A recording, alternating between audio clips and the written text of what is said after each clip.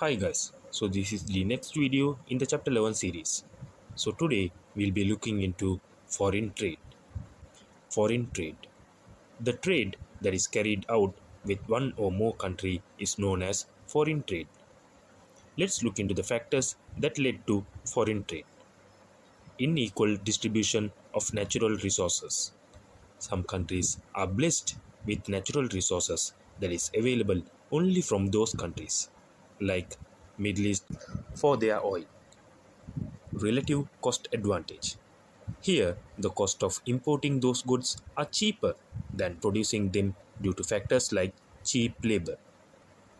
Sri Lanka and Bangladesh have competitive cost advantage over the production of garments. Legal monopoly in some countries due to patents and copyrights.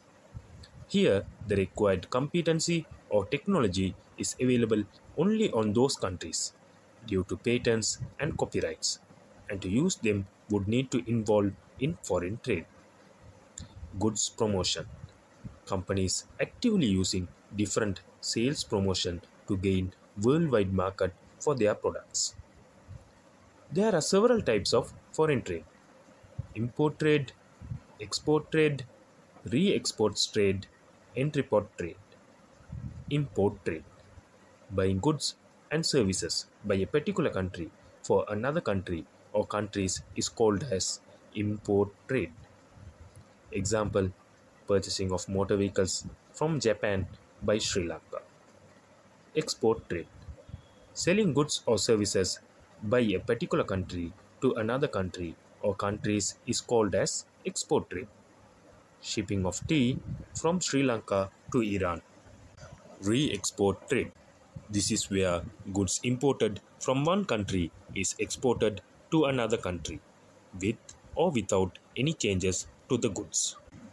Any tariffs paid to import could be claimed when exporting. Cloth materials imported are stitched and export them as finished garments. Entrepot trade. Here the goods are imported to country and kept in the warehouse without being brought into the country and with or without changes exported to another country. Since these transactions takes place in the port itself, there would be no tariffs applicable. Example, India import tea from Sri Lanka, keeps in their warehouse and export to Iran. Benefits countries get from involving in foreign trade.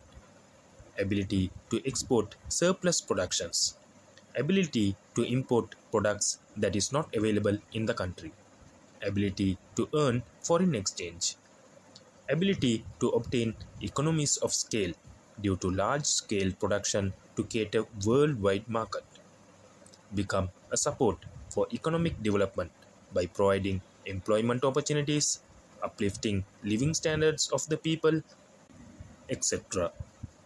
Free trade. Free trade is having no barriers between parties to engage in import and export of products. Barriers to free trade is called as tariff and non-tariff barriers. Example by putting import and export quotas, prohibition of import and exports, trade agreements, stringent exchange policies. So that's it with this video guys. Please do like and share to learn and let others learn. Thank you. Created using Powtoon.